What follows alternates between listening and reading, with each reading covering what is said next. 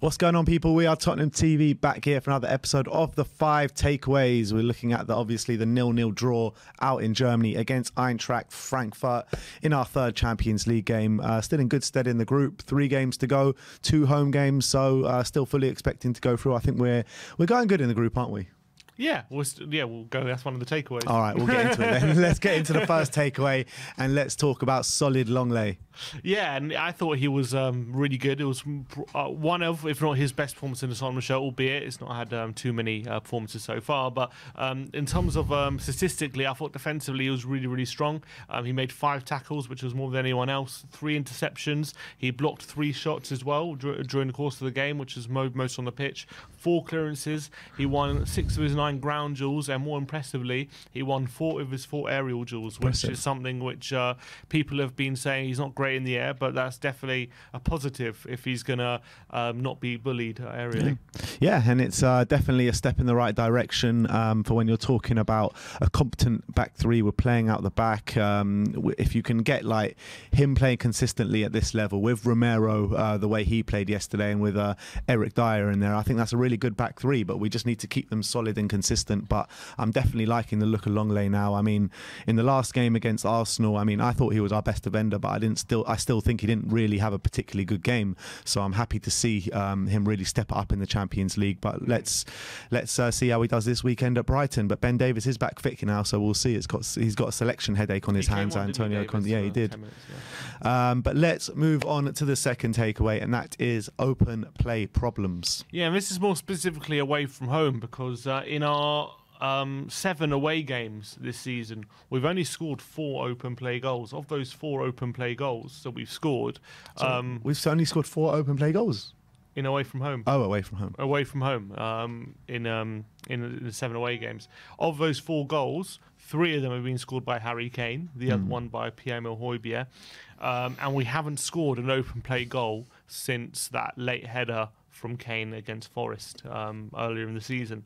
So uh, the games are mounting up, and there seems to be an issue right now with um, whether you can say it's creating chances or just putting them away. We can't seem to be uh, scoring too many goals from open play uh, in uh, uh, um, away from home, and that's something that Conte needs to work out why that is. Uh, we've obviously scored a few from set pieces, but why are we not scoring from open play? I'm not really sure. Yeah, um, it's a difficult one. I mean, like I keep saying, I think that the, the problems that we had against Frankfurt were very similar to the problems that we had against Arsenal in the in the uh, first half, in the latter stages of that first half, where we were building up play really nicely, but it's that final pass and that final third that really lets us down. And um, I think Dejan Kulusevski, when he comes back into the team, will make a massive difference to that.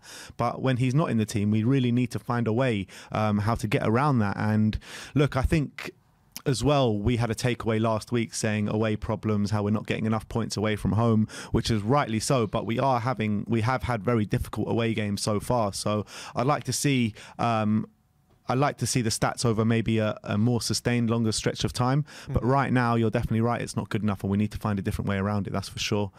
Um, but let's move on to the third takeaway, and that is on the front foot. Yeah, so if you're looking statistically, yesterday was definitely um, a game where we, we were much more on the front foot compared to a lot of our other games this season. Possession wise, we had 58% possession, which is our um, third highest total of the season.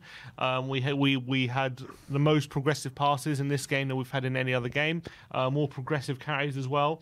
Um, so it definitely shows um, a willingness from Spurs to be more on the front foot and actually take the game to Frankfurt rather than a lot of away games where we've kind of been sitting a bit deeper and um, soaking up a lot of pressure, even in games like Forest, where you know they're, they're not the best team, but we still were sitting quite deep in that game. So very positive in there, and our pressing was actually very impressive yesterday.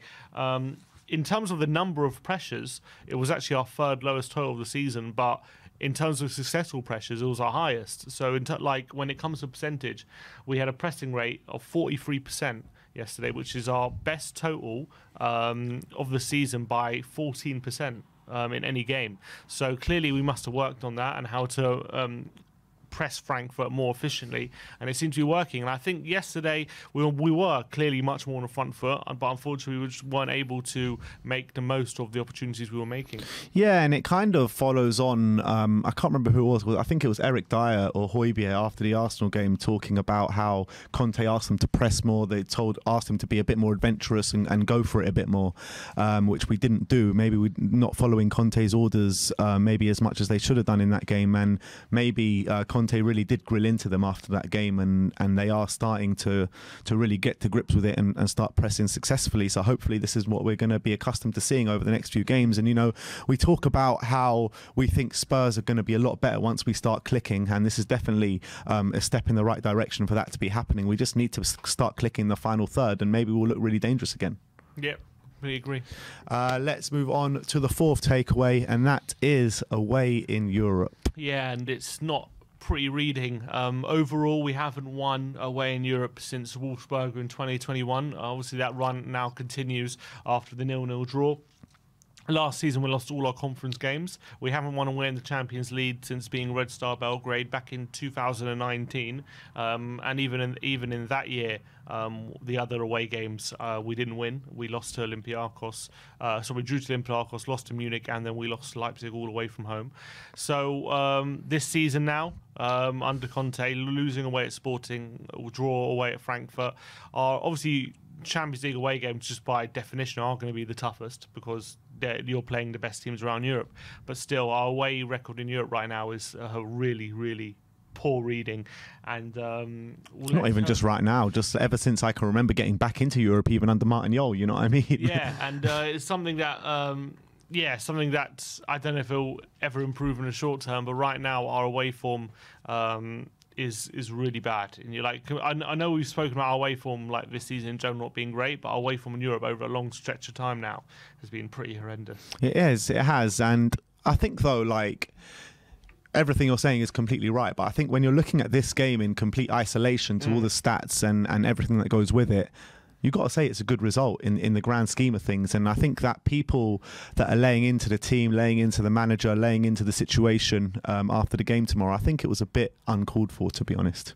Yeah, I, I think I think anyone, yeah, I wouldn't have overreacted after yesterday's result because I still think it's uh, we're in a good position, which we'll go into in a minute. Um, but I can, I, there's two sides to it, isn't it? Because I can understand people are a bit frustrated where we're, we're not getting those results uh, away from home when the performance is not being great. But yeah, I think people have to acknowledge that it was a bit of a better performance yesterday, and if we can continue like that, then hope hopefully it'll be football will lot be um, will be much better to watch, and we can hopefully grow as a team and, and start picking up a lot better um, results away from home. Yeah, and but like the way people are talking, and people are talking like Conte needs to go, and this is the worst Spurs side we've seen in so. I mean, the reaction I'm I'm seeing, the reaction I'm seeing to Spurs right now with some certain Spurs fans. I mean, it's just so much moaning, right? So much moaning, and like we're sitting third. amazing all the time. We're basically. sitting third in the league with one defeat all season in the Premier League after eight games.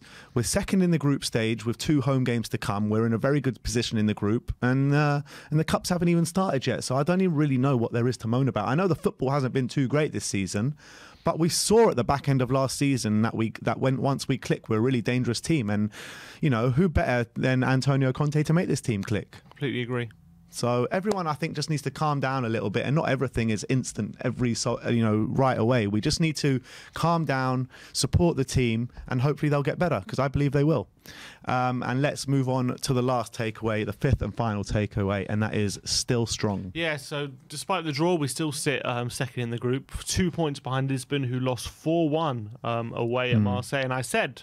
Um, Apparently, last, the goalkeeper had absolute mare. Yeah, that's what I've heard. But I said um, when we lost to Lisbon that they will drop points in this group. Mm. I was certain of that. Yeah. Even though they they've won both their opening two games, they're not going to go winning every game. They'll drop points. And that next game, they've obviously been battered by Marseille. So this group is absolutely wide open. So look, despite the fact we're second and obviously level with Frankfurt, Marseille now one point behind us um, in bottom in th- three points, and then and then Sporting Lisbon are top with six. That group is wide open, and definitely first is there for the taking. If we can just win our home games, For any team. yeah, hundred percent. So if we can just win our home games, uh, we'll um, obviously we're in a very strong position, um, and hopefully uh, we we might only need a draw on the last day or something against Marseille to secure top spot. So. Um, a lot is riding on our next home game. Not no doubt about it. Draw wouldn't be good enough in that game. We have to win, but, you know, at with the- least we put ourselves in a good position. With the way we performed out in Frankfurt, though, you expect us fully expect us to go get that those three points next week uh, when Frankfurt come to Spurs, don't you? Yeah, and you look at our home form, uh, five wins out of five this season. So Mm. Yeah. there's no reason not to be confident that we can take them at home. Yeah, absolutely. And um, then we got Sporting at home, and then Marseille. I mean, Yeah. hopefully, if we if we put if we get those two wins at home, would you say that that's pretty much going to secure our our spot? Now in- put us, now, yeah, now might put us um, on ten points. Never mind top or, or second. I'm just saying secure the spot into the next round. Yeah, it should do. Uh, I, I can't see any uh, more than two teams getting ten points. Mm. That, that would be that would be incredible if that would happen. So I think two wins and that's pretty much qualification. Yeah. All right, so there you have it. That is our five takeaways from the game out in Frankfurt yesterday. The nil-nil draw in our third group stage game in the Champions League. Let me know what you think of our takeaways, and also put your takeaways in the comment section below. Like, subscribe, and comment. And as always, come on, you Spurs.